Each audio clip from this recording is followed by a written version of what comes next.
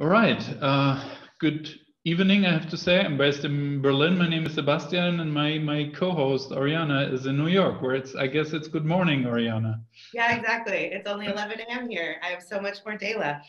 Yeah, so I'm really excited to be here uh, with all of you. And uh, uh um, um, since um, uh, we have uh, uh, about an hour of time, and the plan is to separate the time between Oriana and myself. And we'll start with you, Oriana, and I'll quickly introduce you to to the uh, to, to the list. Um, but just quickly before um, before we something's going on.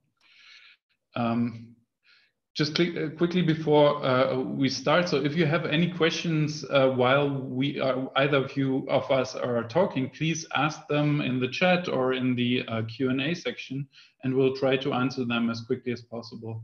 Um, but back to you, Oriana. So um, you've spent more than a decade working in the media.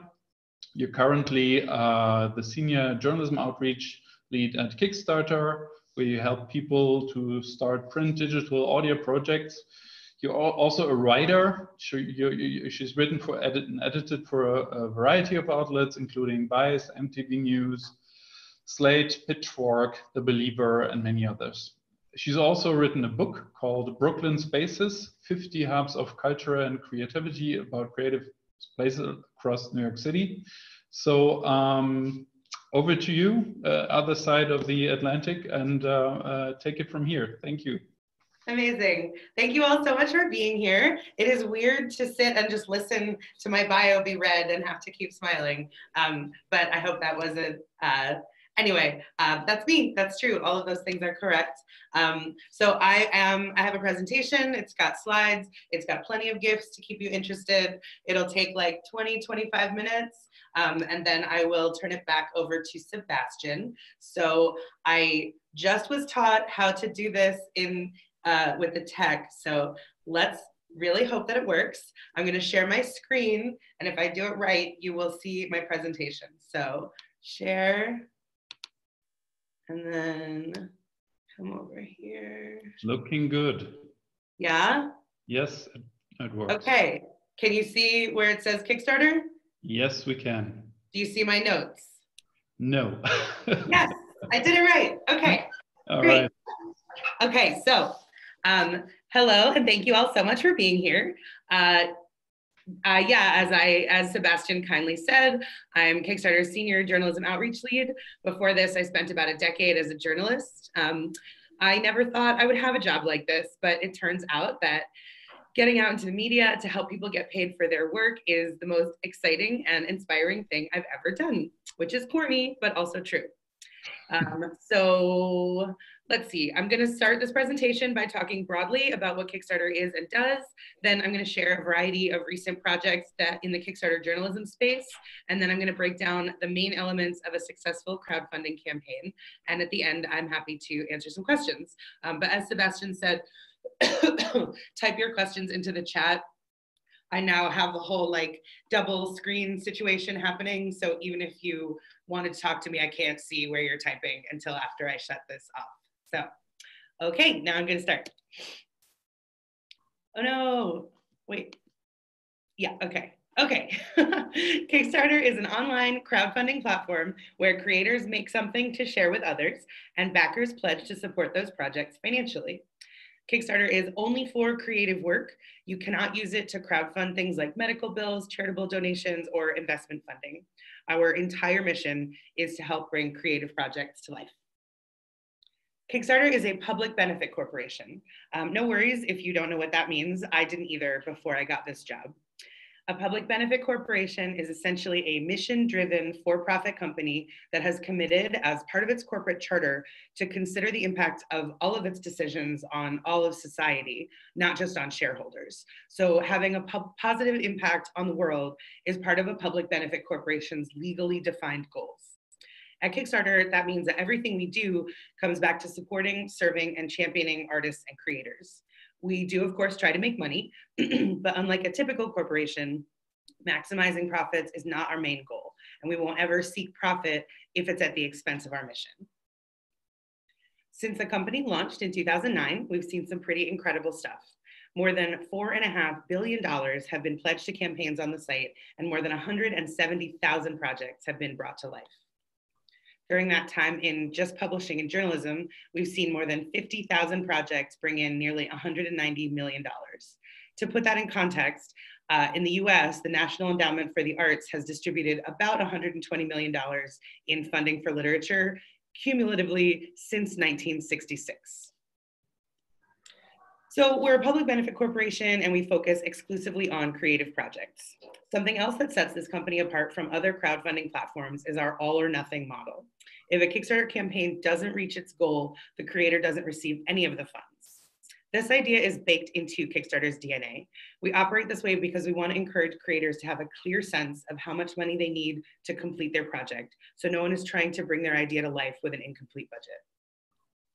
Uh, if a campaign doesn't reach its goal, that just means that some element of the project likely needs tweaking, whether it's the idea itself, the creator's outreach plan, or something else. There's nothing wrong with that. It just means that the project still needs work. As Spike Trotman, a comic artist who has run more than 20 Kickstarter campaigns, has put it, a failed Kickstarter is a dodged bullet. Of course, I really want all my creators to succeed. That's one of the reasons I'm here, because I want to set up everyone who uses the platform for success. So let's get back to journalism. this is, of course, a critical time to be working on new ways to fund the media. The industry is rife with venture capitalist vampires, corporate malfeasance, union busting, and decimation via Facebook duplicity. It gets clearer every day that the old financial models are woefully inaccurate in the modern age. So media organizations are looking into a range of alternative revenue streams from non-profit partnerships to event series to philanthropic philanthropic support. And something else is finally happening. Readers are finally getting the message that if we want journalism to continue to exist, we're going to have to help pay for it.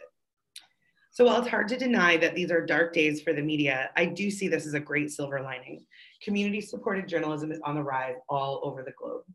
Last year, the UK's slow journalism experiment Tortoise raised half a million pounds on Kickstarter, and Dutch site The Correspondent raised 1 million euros all on their own. That's to say nothing of new subscription models, multimedia partnerships, and niche publications with fiercely dedicated communities. I'm an irrepressible optimist, and I happen to believe that this is an incredibly exciting time to be working in this space, doing my tiny part, you know, to save journalism. So now I'll share some publishing and journalism projects that our platform has helped bring to life. One of the things we like to say is that every Kickstarter project is a story. I really love working with people in the media because they understand what that means right away. On Kickstarter, you're not just selling something, you're explaining why your project matters. And not just to you, but to everyone who might want to become part of it. You're not asking for a charitable donation or an investment with the expectation of return. You're asking people to support your creative journey and also to join you on it. Kickstarter campaigns have been used to fund everything from legacy media outlets to tiny DIY zines, from entire news organizations to single podcast episodes. Most of the projects in this presentation were made by US and UK based creators, but that doesn't mean that no one is using the platform in other places, like for example, Berlin. These are just a few of the awesome media projects that have been launched in the last few years from your fine city. Oh, whoops, sorry, skip that one, never mind. Uh, okay, so I'm gonna start with a few more now. Um, this was a very big deal in New York City, although I don't really know whether it made it all the way over the Atlantic. Um, but a few years ago, a malevolent billionaire bought a successful and very beloved network of local websites, and then he unceremoniously shut them all down after the staff voted to unionize. The flagship site, Gothamist, was able to partner with a nonprofit radio station to relaunch, but their previous owner was holding the site's archive hostage. So they ran a Kickstarter campaign to buy back their own work. Gothamist raised double their campaign goal, more than $200,000, and helped demonstrate that community supported journalism was an idea that people would pay for. Some of their sister sites in other cities, like DCist and LAist, were inspired to run Kickstarter campaigns as well.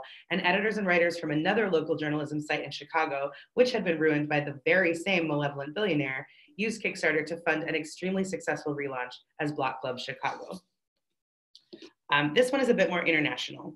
The Civil Foundation has been trying to find a way to save journalism through the blockchain and cryptocurrency, but their initial coin launch last fall didn't go exactly as planned, and several of the burgeoning newsrooms they had helped start were left in the lurch.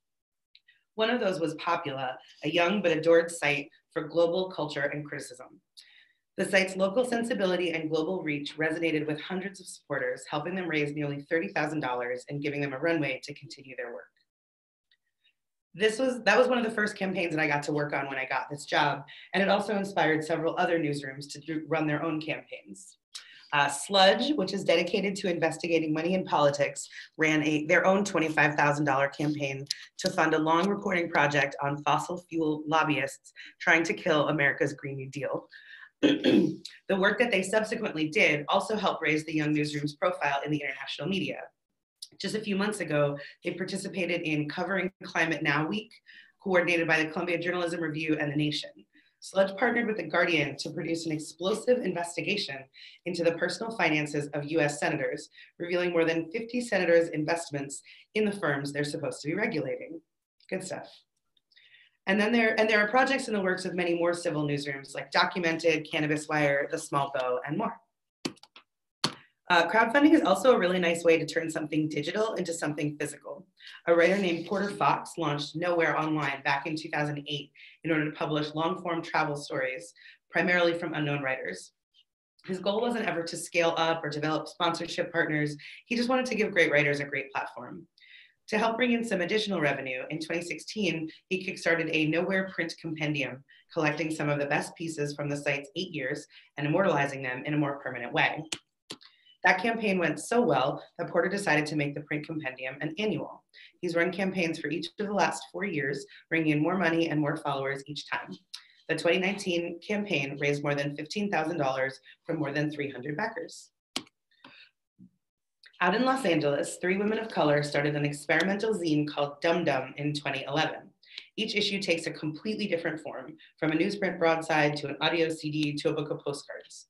When things get a little ambitious, they turn to Kickstarter.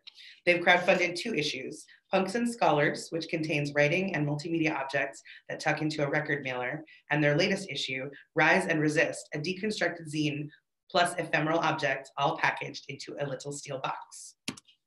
Dum Dum has done an excellent job of building their community. Founder Tylene Colley told me that not a day goes by that they don't receive at least a few submissions for their next issue. We've also seen all sorts of literary events and series. This is one of my favorites. Back in 2013, a bunch of New York City literary ladies wanted to host a three-day reading of Herman Melville's classic whale book. After raising more than $8,000 on Kickstarter, the event planners coordinated 150 readers over three days, and they cooked enough chowder to feed the whole audience.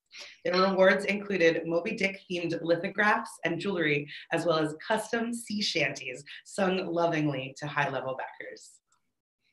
Media campaigns can be about more than just the written word, of course. Uh, a few months ago, I worked with Tom Critchley, a British humanitarian who wanted to set up a radio station for refugees in Jordan, serving the war impacted community in Zatari. The radio station is now up and running, and in addition to sharing news and information, it's also become a big hit with the community youth.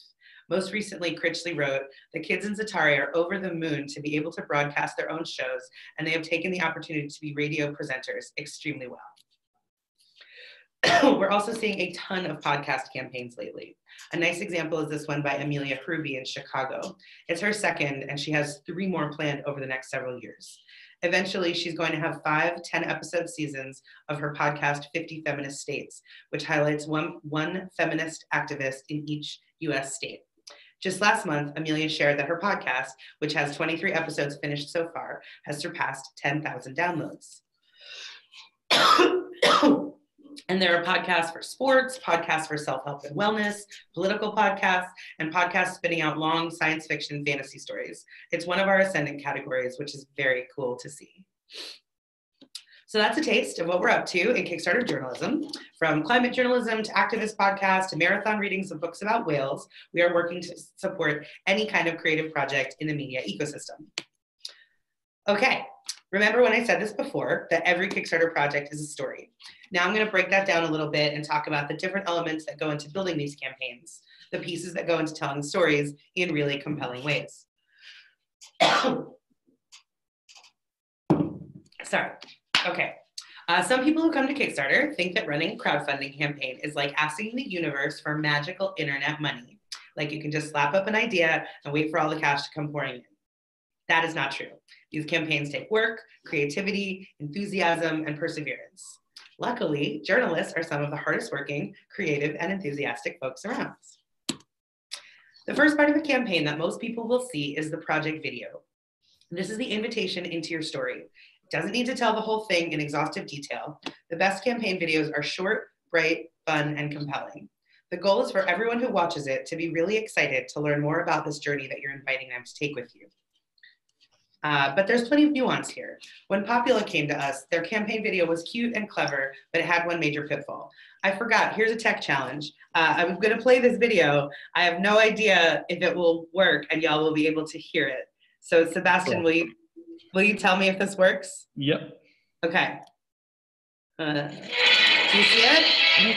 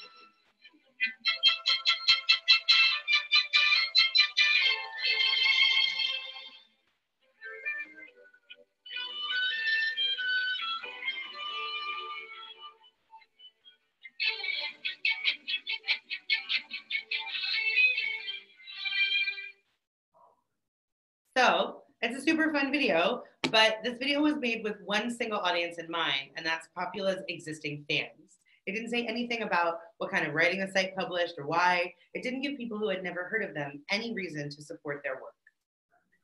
Kickstarter is a neutral platform that allows creators to share their work with the world in the hopes that it will resonate with an audience. But we can also offer more than that. With millions of people in our community of backers, we can get projects in front of all sorts of people who just don't know that they're your fans yet. You just have to give them a reason to love you. So with all of that in mind, here's a new video that Popula made. Popula is a journalist-owned, journalist-run, ad-free publication. We do not have any rich investors. We do not have anyone to please but ourselves and our readers. So we publish whatever we want, whatever we think our readers will find informative and fun. We tell stories about ordinary people living ordinary lives. We try to make everything we publish something you couldn't get anywhere else. Popula is focused on delivering diverse and on music culture. We've been around for eight months and have the pitch, the buses, the budget parts, and writers as decently as we can to write stories like these. We publish weird stuff. We publish funny stuff. We publish artists from India, Egypt, Kenya, as well as the United States. The donation will go to the editors and writers who Popula the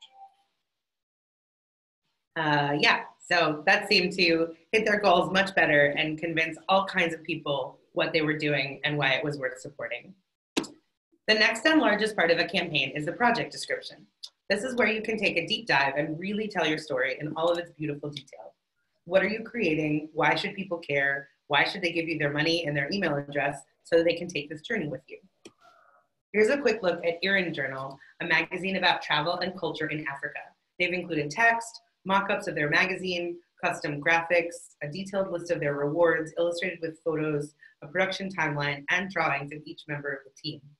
It's a dynamic, exciting campaign page that you just want to keep reading. And when you're done, you really have a full sense of what they're going to do and how they'll do it well. Now let's talk about rewards. It might not seem like it, but this is a big part of telling your story. There's a lasting misconception that if you run a Kickstarter campaign, you have to turn yourself into a swag production facility, making a whole array of keychains, mugs, t-shirts, tote bags, and all sorts of other junk. Do not do this. Not only will you ruin your life schlepping back and forth to the post office for six months, it's not even a good way to connect with your community.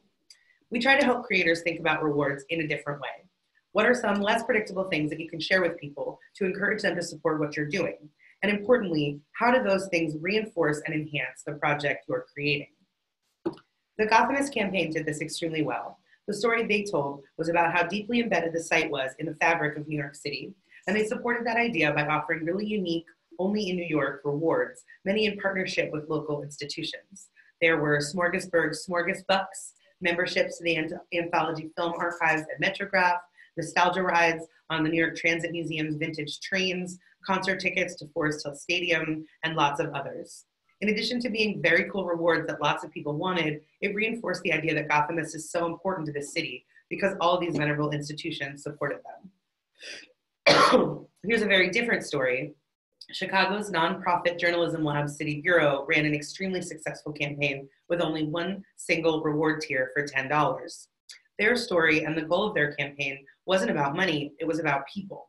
They wanted to launch their newsroom with wide community support. So rather than line up a lot of expensive rewards, they made the barrier to entry very low in order to get a large number of individuals to join in. And it worked. By the end of their campaign, they had nearly 700 backers. You can also get really creative with rewards. I have a campaign that just closed for a new cultural magazine called New Modality. Mid campaign, the founder released a limited edition branded avocado, laser etched by a well known artist provocateur.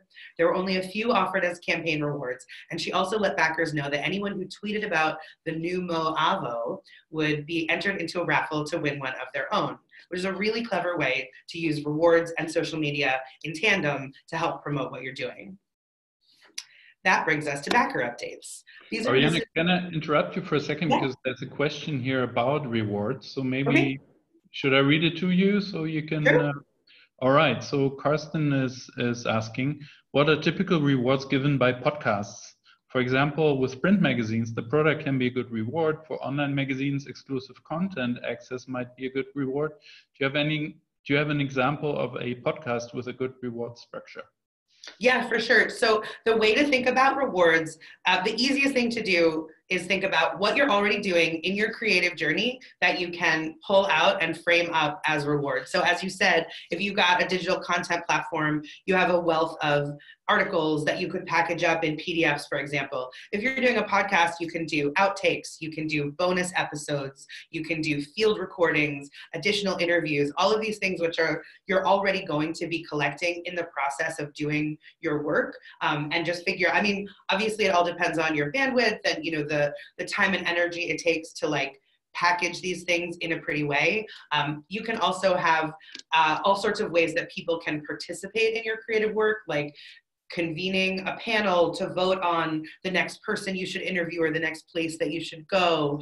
Um, having people on your podcast can be a reward depending on your subject matter and your, you know, your sort of like the way that you're um, putting it all together. You can also do meetups or digital meetups depending on what kind of community you're working with. Um, so it really depends on the specifics of what you're doing, but any campaign, there because these campaigns are generating creative work, there are ways to repurpose that creative work in like limited edition and like exclusive sorts of ways.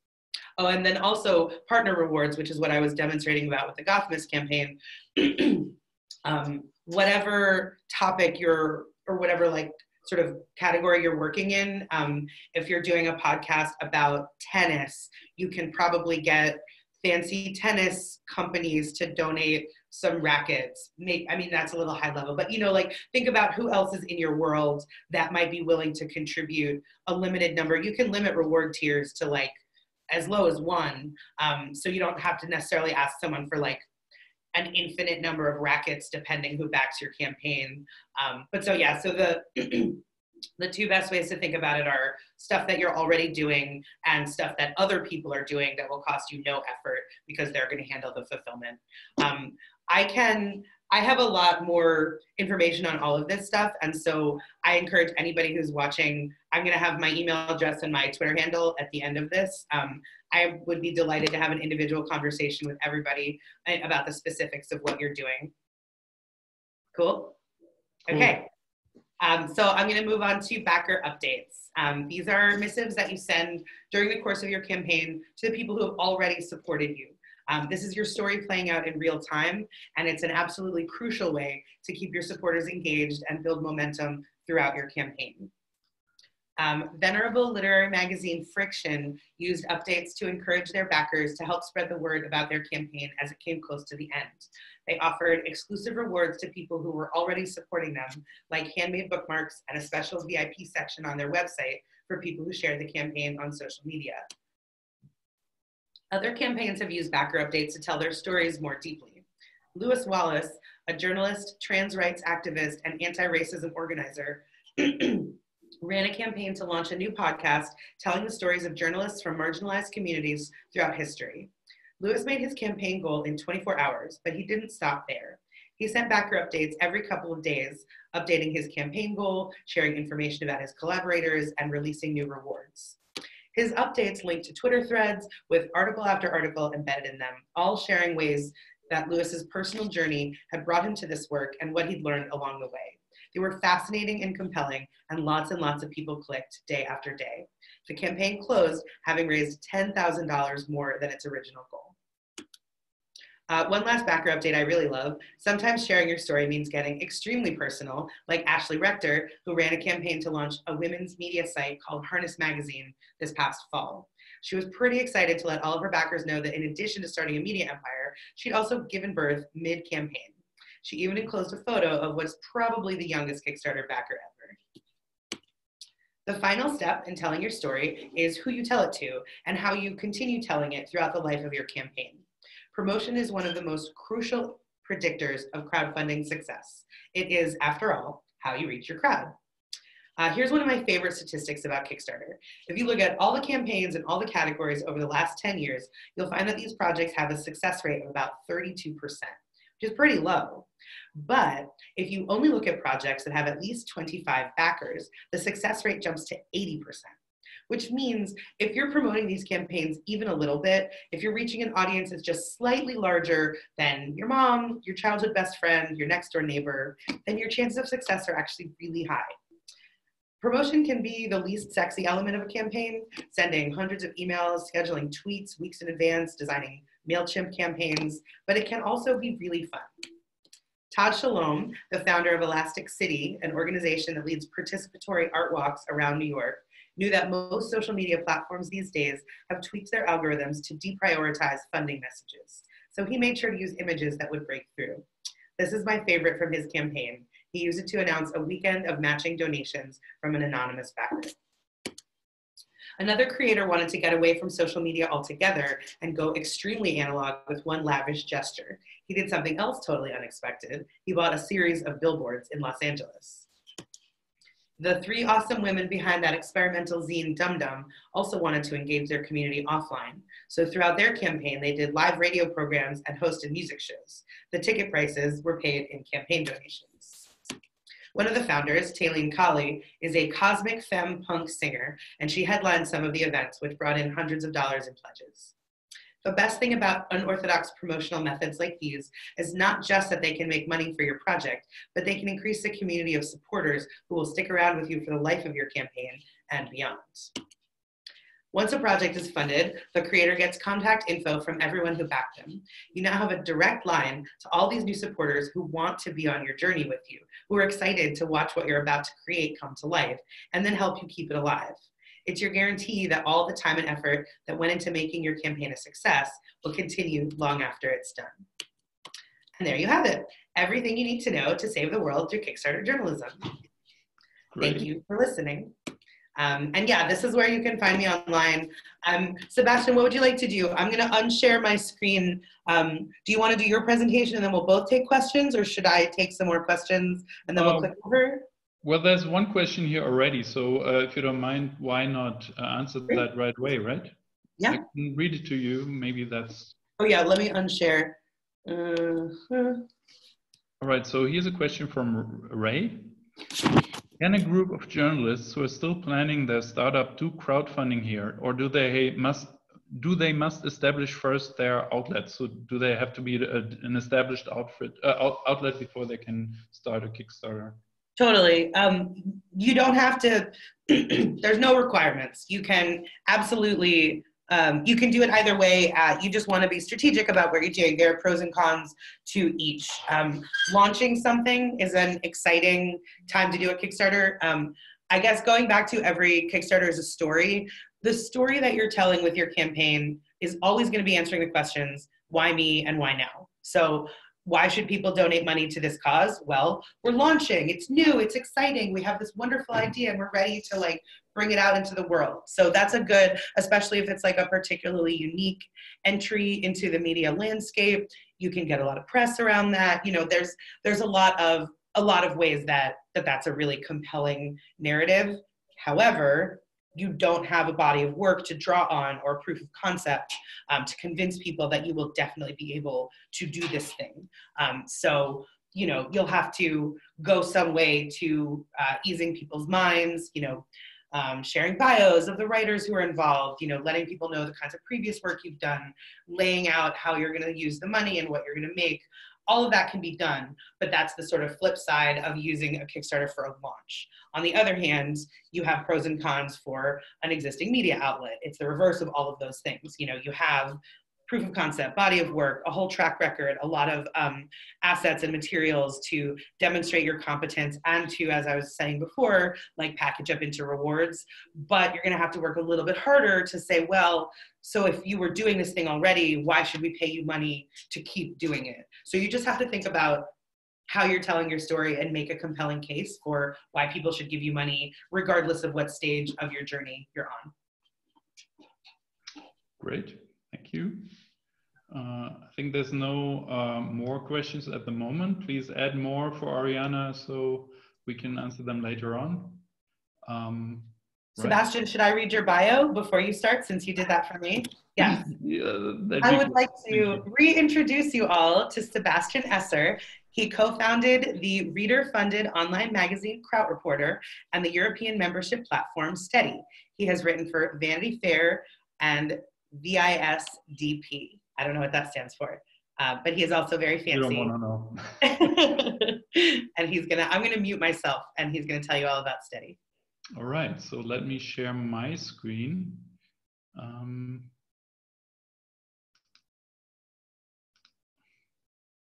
all right, I hope you can all see this. So Oriana, maybe tell me if it doesn't work, but you should all see my screen uh, right now. So I'm guessing that many of you listeners are journalists yourself, are running your own publications, are thinking of starting one, be it like a digital magazine, a blog, a podcast, something like that. Um, and I want you to bear with me for a second and look at the, these two dimensions here. And one would be privileges, so something uh, that you get in return for uh, your money. Uh, first and foremost, that would be content that is put behind a paywall, and only if you pay, you can start uh, reading. Um, and the other dimension is passion. So either there's a lot of passion, you feel strongly about a publication or a media brand because of its political tendency, its specific niche, the person behind it, the personality of the writers, um, or even a topic like, let's say, Brexit, climate change, and so on. So either you're very passionate or there's no passion at all. Uh, either you get something in return or you get nothing in return, right? So um, moving on, let's look at uh, some uh, well-known media brands uh, and try to categorize them in here. And I realize this might be a little bit um, uh, um, you know we, we can fight about this if we want to but please please don't. Just trying to to, to make a point and uh, we can discuss later. So uh, for example something like buzzfeed there's clearly no privileges when you start paying because there's no way they don't want you to pay. It's made for reach right? They try to reach as many people as possible with uh, uh, content that provides buzz. It's about entertainment. It's about a lot of entertainment. Same goes for something like cnn.com where you get breaking news, uh, you know, hundreds of articles, uh, I guess every day. So uh, here it's about volume, it's about you know speed, um, and and their business model is uh, uh, is uh, ads because this is about selling the eyeballs of your of your audience to to advertisers. So there's there's not a good different way of making money with that type of content. Um, and the problem here is that the um, yeah the, the, the this method of selling ads is working less and less uh, uh, for media. Uh, I mean, it's still growing. The ad, online ad market is, is growing, of course, but all this growth goes to the big social media companies like Facebook, Google, but also Alibaba, uh, Amazon, and the like. But it, it doesn't it doesn't work for most media anymore uh, especially not for niche independent media that can't provide the kind of content that will uh, generate really big audiences. So if you look in this spectrum over here, where there's no privileges still, but there's a lot of passion, there's a different story here. So for example, something like NPR in the US, you know, public radio, they run yearly pledge drives where they ask them their, their listeners for money to kind of fill their coffers for the year uh, just because they share the vision of good quality radio. And that's how, how people start why, why they start start paying. Uh, another very well-known example would be the guardian in, in the uk that has become a worldwide brand around uh, um, people who are willing to pay even though they don't really have to pay. Um, but also something like GoFundMe, uh, where you just ask for money for a good cause, is, is based on, on this principle. And this would be one of donations. And uh, since since uh, uh you know we're we're here in the uh, uh, and, and talking with you, Oriana, I don't think that Kickstarter belongs in this section. Just just to be clear about that. Um, this is this would be something where you just ask people to pay to continue doing what you're already doing without a great campaign or something. The problem here is that it's really hard to turn that into a um, into a business model. This is really a one-off thing, and if you pay your 10 bucks, you probably have the feeling that you've contributed enough to that uh, publication, and uh, and so it may help you a little bit, uh, but in the end, there's no recurring income. That's nothing that you can work with on a, on a continuous regular basis, right? Moving on up here, um, this is where most big media are nowadays. Uh, they have moved there in the past, let's say, five years. So uh, there's a lot of privileges, but not, not, a, not a big sense of purpose or passion a good example would be the music platforms like Spotify, um, where you get all the music in the world for less than 10 bucks, I guess, at least over here in Europe. But this is a transactional relationship. You want that music, but if you get it for $5 uh, on Apple Music, you would just switch, right? So it's not so much about your connection, your relationship with the brand or with the people behind that brand, but it's more a transactional relationship where you kind of buy access to a pool of exclusive content. But that's, this content needs to be really, really good. So, for example, the New York Times, I think we can all agree there's great quality content, but how many people in the world can produce that kind of content? Uh, um, and, and, and so um, it's really hard to pull off for smaller publications, for niche publications, for people, people uh, like myself who just don't have the means to produce the amount and the quality of content that uh, that you would need to kind of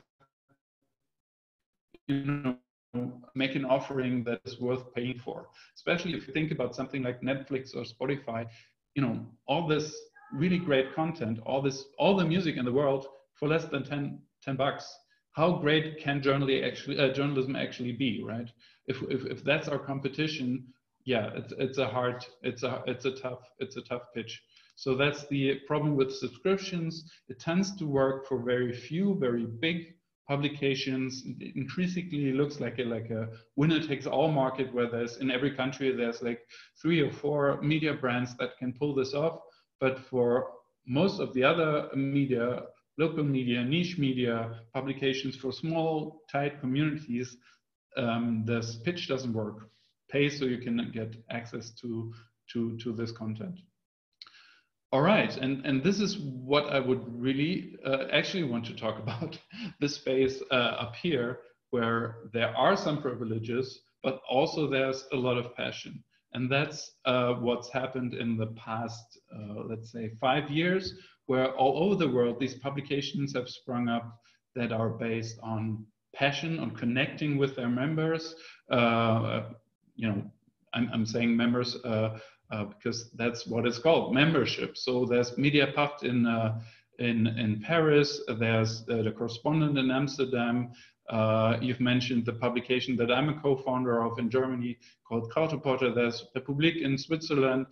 Also, a lot of publications in the US are now membership based, a lot of local news, but also something like Slate or The Atlantic that is actually um, uh, uh you know legacy media and everything that happens on patreon uh, you could argue is based a lot on passion and purpose and you know a sense of community between the creator or the publisher and uh, and and their their readers, listeners, and followers. And that's what we call memberships, and that's what Steady is all about. And we're here to help you set up a membership uh, program for yourself. Um, but let me first, before I, I, I, talk more about Steady and what we can help you with, uh, uh, uh, stay stay on this logic a little bit because what's happened in the past few years is that some publications from the other spaces have started suddenly started moving into the membership space. So even something like Quartz, which is clearly originally, you know, was started I think five or six years ago for the Reach business model, are now offering memberships and are putting a lot of energy into making this work. Also, something like Vox are offering memberships, even TechCrunch, uh, uh, and and also the Guardian has has moved a little bit in in what they offer. Um, I would also argue that the New York Times and the Washington Post are not really offering subscriptions anymore, but more more on that a little later. All right, so just very quickly, Steady is a membership platform for independent media. So that means we want to help you set up a membership program, even if you're not the New York Times, but you have a small but tight community around your brand, about your around your idea, sometimes even around yourself, because you're you know uh, you're very active on Twitter, Facebook, uh, Instagram, and so on. Um, so um, there's not a lot of ways to, mm, mm, to turn this into a sustainable business model. Membership is one, and Steady wants to make it really easy for you to set that up. And how that works, I'm gonna um, try to put into three uh, uh, small steps. Um, it's really as easy as setting up a Kickstarter campaign, as easy or as hard, but it's, it's quite similar. So there's three step, steps. The first step would be to get in contact with your crowd, to, to ask for an email address so you can establish a, a, a stream of communication, can start talking to them. Sometimes we um, hear this comparison that, you know, when you uh, go on a date, then you will not pull out the wedding ring on your first date, right? You will try to get to know the other person first. So uh, it's, it's basically what I'm saying is first start to establish contact and start talking to your community if you don't already do that. Uh, and, and the best way is to collect email addresses.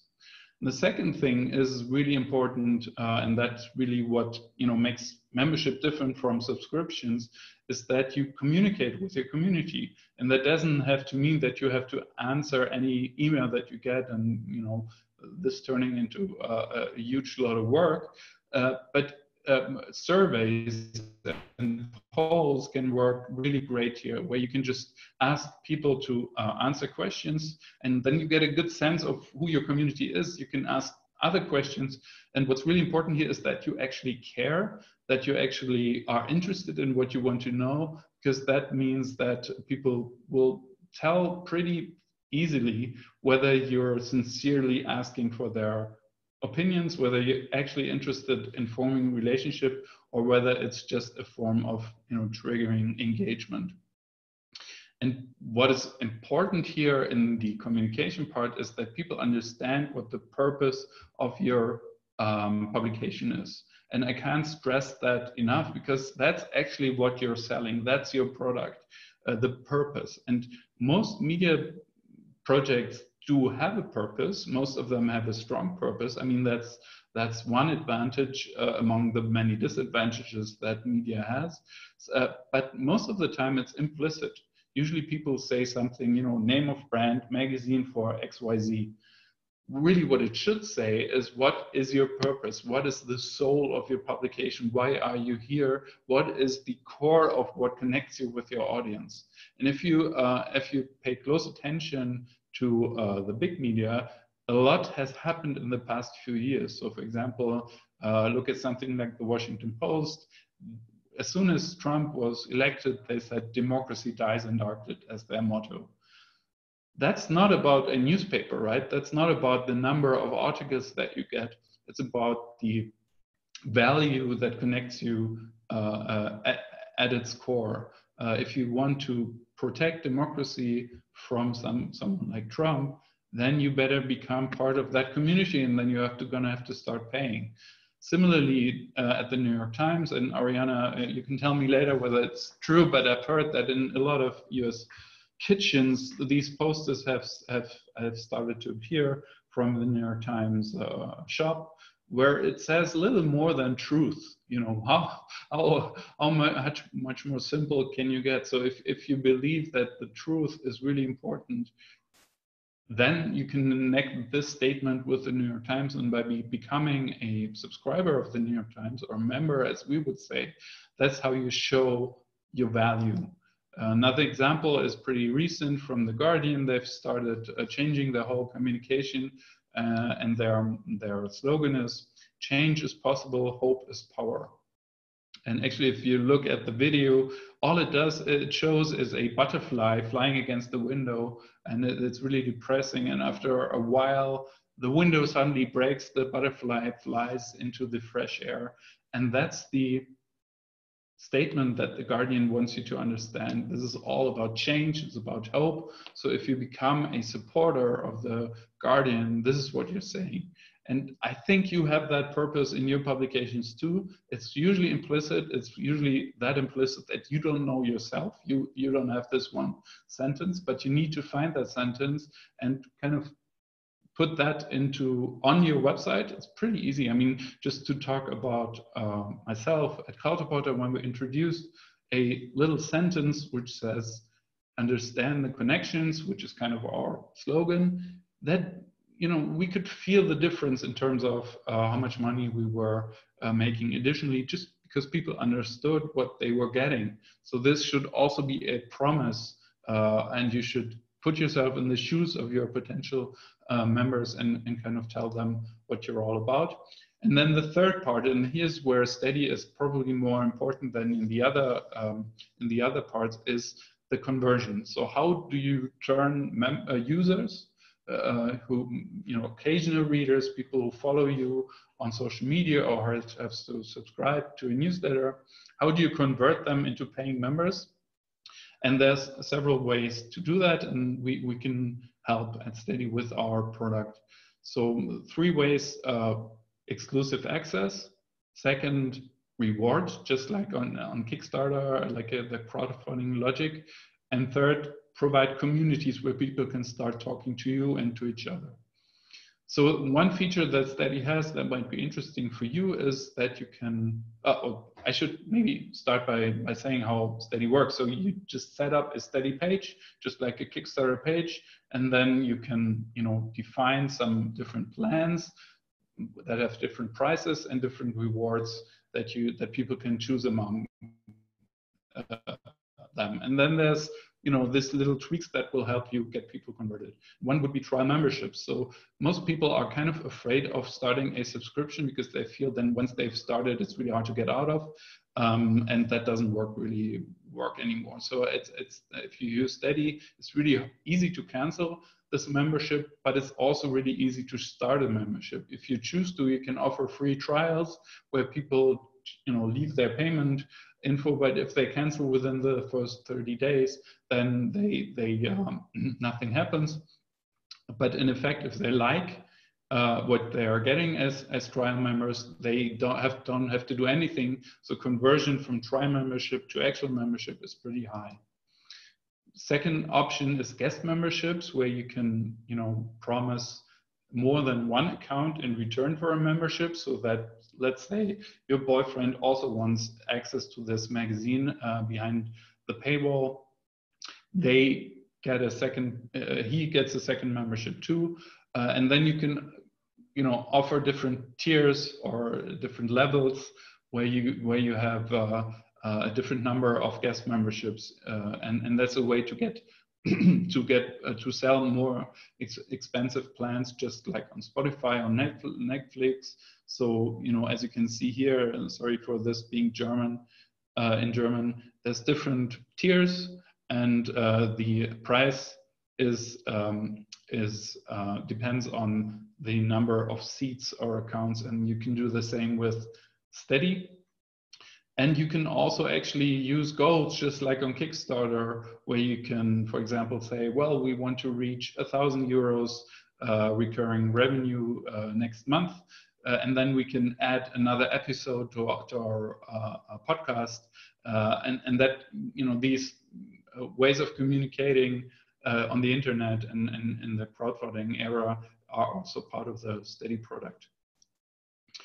you can choose to offer monthly or yearly plans uh, and, and then you know, offer a little rebate for the annual option because when people only pay once a year, you save on the payment costs and also churn is lower. So fewer people cancel if it only renews once a year. And all that is already part of the Steady product. I should also say what is really important to understand uh, about Steady is that it works on your website. You, so uh, it's not a platform where all of your users have to come to Steady. Actually, it's not the Steady story. We kind of try to keep in the background, but you can embed all of that on your website also, we can um, you can use Steady to set up a paywall. So if you choose, you don't have to do that. But if you choose to offer some of your content exclusively to paying members, then uh, you're good to go. It's really easy to install and actually only takes five minutes.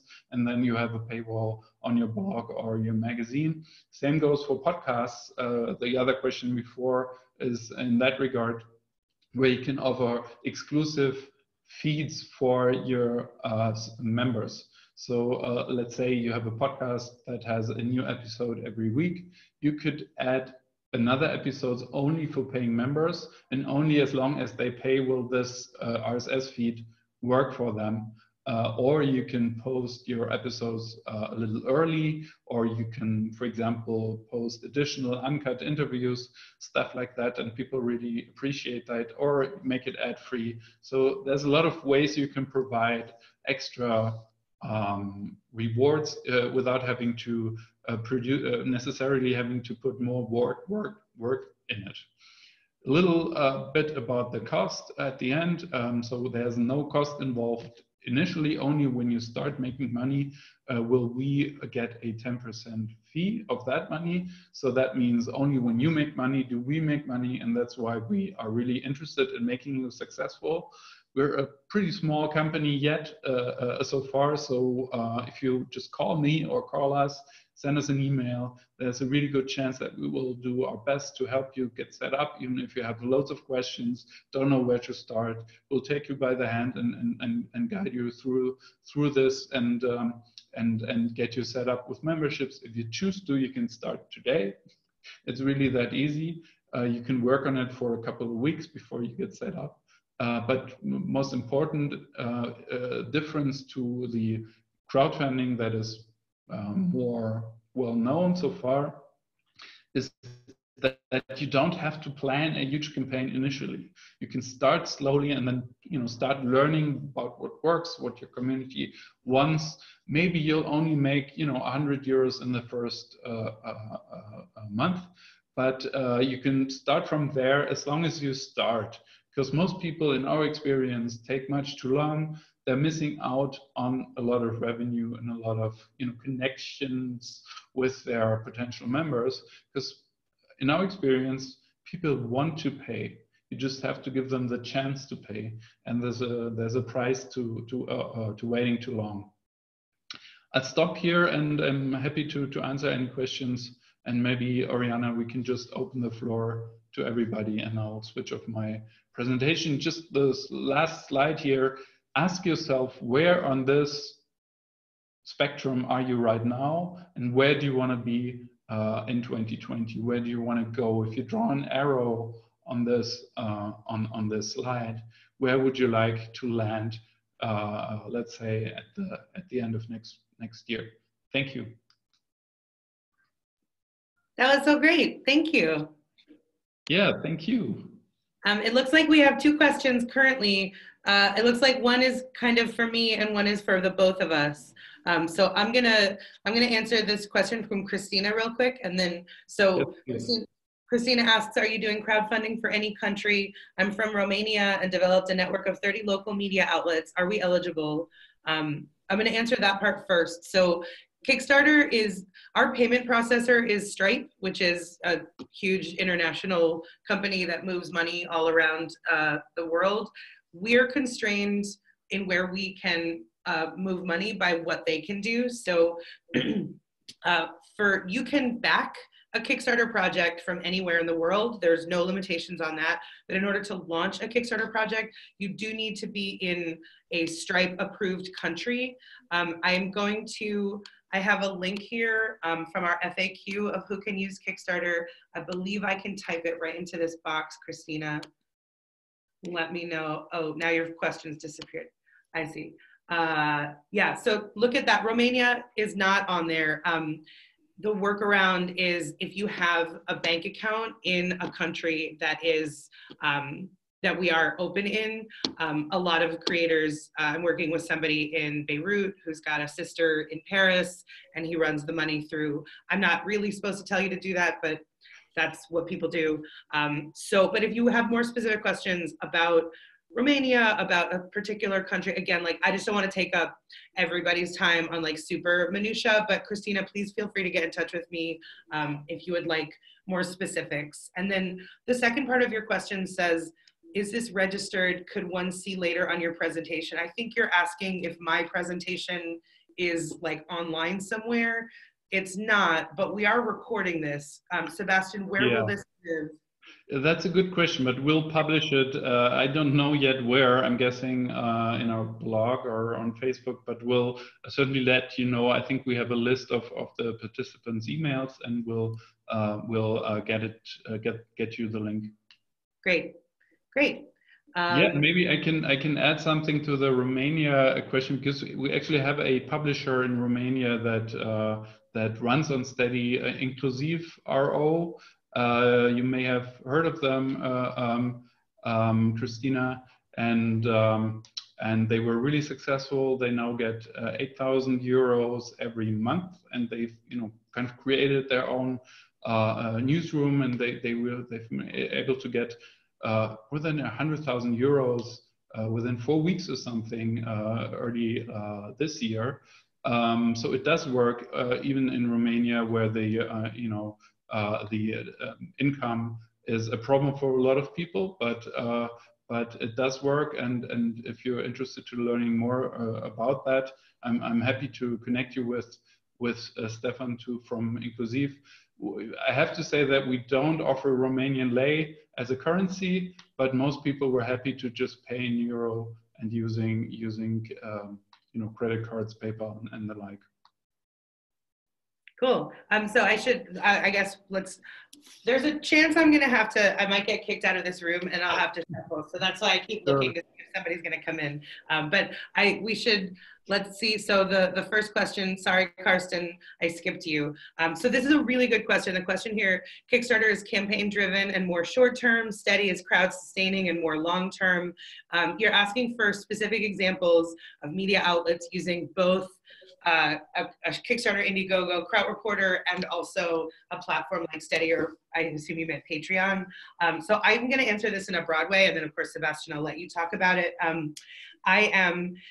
I am extremely in favor of a diversity of funding streams for a media outlet. I think um, using, you're absolutely right, Karsten, that um, Kickstarter is fixed project-based funding, whereas something like Steady is sustainable funding, and there are absolutely ways to use them in tandem. Um, both of the civil newsrooms that I talked about in my presentation, Popula and Sludge, um, they both have civil. I think one of them also has a Patreon. They also have done Kickstarters. Like it's all about you need to think about who you're talking to. Um, one thing to be aware of is sort of like donor fatigue. So if you're asking the same people for money in like three different ways at the same time, people might get annoyed with you.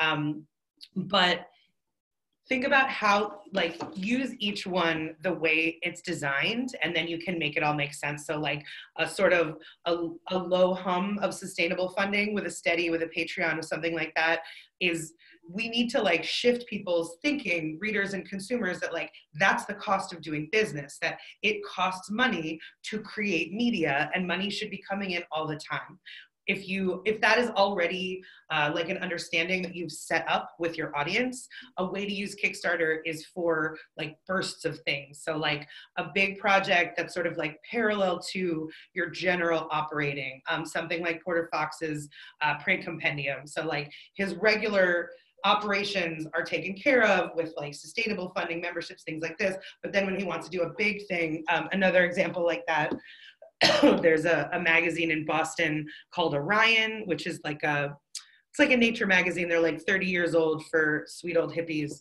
Um, and so they have subscribers and members and fundraising drives and all of that. So that's for their regular operating. Um, i just ran a campaign with them where they're making a book of a compendium of stories about love, which will come out in February in time for Valentine's Day. Um, and so, since that's sort of outside of the nature of what they regularly do, that made sense to fund as a project. Yeah, that's, I think, example, print editions, uh, books, events, and all that. That's probably better on Kickstarter. Oh yeah, events, totally, totally. Oriana, if you have to go uh, and, and people are stretching a door, please, please door if, if you I like I did some trickery. I reserved a different room, so if somebody comes and says they want this room, I'm going to try to send them to that room. Yeah, no problem. Yeah, yeah. If you have to go, that's fine. I'll I'll stay uh, for the rest of the answers. But if you can stay, that's that's great. No, I'd love to stay. This is great. Um, I think that's good for Karsten.